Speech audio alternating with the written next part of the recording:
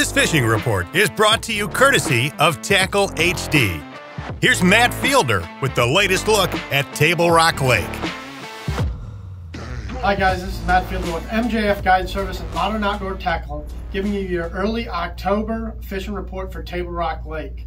The lake level is 910.21, which is about seven foot low of summer pool. They haven't, you know, made it uh, winter pool time yet, um, but that is 915 is normal winter pool, and it's still low. So it'd be five foot low of normal winter pool, but we're seven foot low of summer pool. The lake is way down. I don't think I've ever seen it this low. Um, it takes a lot of that cover that you guys may be used to seeing on the bank off the bank. So like, you know, not on a flood stage, but that those normal, you know, stumps and, and laydowns and stuff like that. A lot of that stuff's out of the water. So you're gonna have to really search for some of that cover that's on the bank um, to be able to get some bites right now if you're gonna be fishing the bank. Um, one good way right now to catch catch fish, it's no secret, got to be throwing a top water. This is a Berkley Choppo. Um, this is a, a bone color. Um, it's been my best color for me. A lot of people like black. Um, the bone has been working the best for me. Um, but the thing is, guys, you've got to cover a lot of water. Don't think you're just going to go down one bank and just every cast you're going to catch them. I mean, that's just not the way it is. You will find, you know, little flurries or little like stretches where you'll be catching, you know, a, a couple of fish here and there uh, in that stretch. It may be a hot stretch, but don't think you can just roll down any bank at any time and just catch them left and right.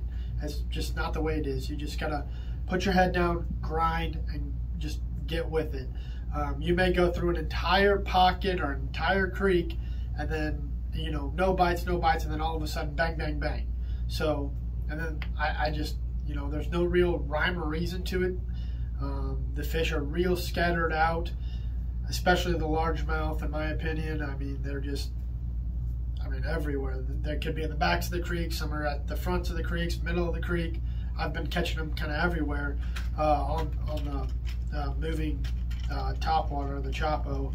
Um, a whopper plopper will work. A buzz bait, if you'd rather throw a buzz bait, that's been working pretty good. Um, another thing I've been doing a lot is throwing a walking bait. This is a uh, shower blow. Uh, this is a 125 size. I also throw it in the 105 size. Um, I do this mostly around targets. So I'll throw it up next to a piece of, you know, a piece of wood or by a dock or something, and I'll, you know, work it. But you got to make sure that these baits are just real tight to either cover or the bank. If you're away from it, if you're not going to get bit. If it's just out over open water, unless they're schooling, and even the schooling fish hasn't haven't been that good on the top water.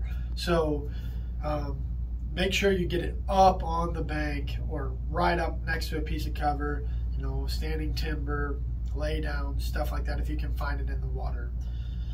So to, to go to my next point, um, if you're going to be fishing shallow, chatterbait is a really good bait right now. Try to throw it around some of that, you know, those laydowns or trees and skip it up under dock stalls. It's a really good way to get bit right now. I mean, like I said, you're going to have to cover some water with it, but you're going to get bit throwing a chatterbait right now, good bait. Um, if you want to throw a square bill, it's also a good way to catch them. But I've been throwing a chatterbait a little bit more right now than the, than the square bill. If you like feeling, if you like making sure that you're feeling the bottom, you can throw a football football jig or a cover jig. I like this one because you can skip it up under docks. Um, a lot of fish are relating to that cover. Since there's not a lot of good bank cover, they're using those docks a lot as their cover. So you can skip this up under those dock stalls and stuff like that, the, the walkways, and you'll be catching fish that way. Um, also drag them through some brush piles, you'll get bit. Or you can just throw it in standing timber and just kind of drag it along the bottom. Um, you'll get bit that way if you if you don't want to throw something moving. If you'd rather have that feel bait, a jig is a really good thing to throw right now, as well as a shaky head.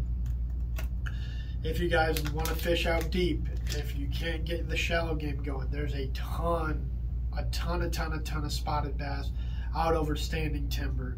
You, you just have to look around. You'll go out either on a point or off the side of a point, um, of you know bluff walls. There's going to be a lot of standing timber. There's going to be spotted bass in those trees and some good ones too. I mean, you will catch a, a lot of shorts but there are some pretty decent spots out there. And the way I've been catching those has been throwing a, a, a drop shot. I mean, that's been my most consistent bite as far as catching a lot of fish has been the drop shot over timber. Um, you can also go out there and throw a swim bait. I've been getting less bites on the swim bait over the timber, but you can catch them on it, as well as a fluke. So if you can get that fluke down a little bit, you can throw them over those treetops and catch them. So um, just go down there, get your head down and grind because it's gonna it's gonna be a grind. I mean, you're gonna have some days that are really really good, but you just gotta cover a lot of water and fish what your strengths are. And if you like to be deep, throw the drop shot. If you like to be on the bank, a top water is crucial this time of the year. Until next time, guys, thanks for watching.